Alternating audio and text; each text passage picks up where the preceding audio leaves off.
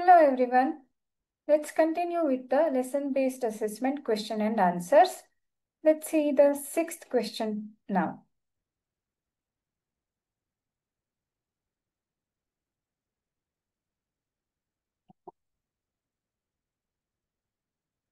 So sixth question is pi is a slash an. What is it? Is it an irrational number, rational number, prime number or composite number? So we know irrational numbers are the numbers which cannot be expressed in the form of p by q, where p and q both are integers and q should not be equal to 0.